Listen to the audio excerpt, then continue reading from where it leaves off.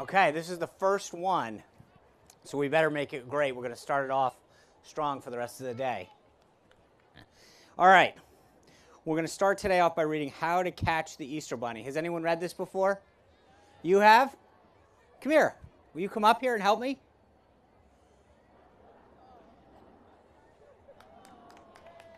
Go around. here, come all the way around.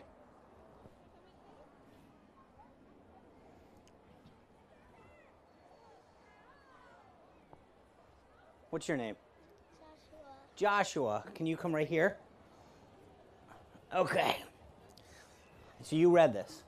All right, don't tell me how it ends. Okay? Okay. How to catch the Easter bunny. Do you know how can you help me with this?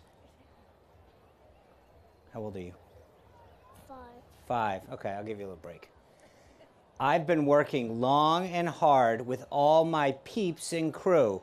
We've made the eggs, and now I'm here to bring them to you.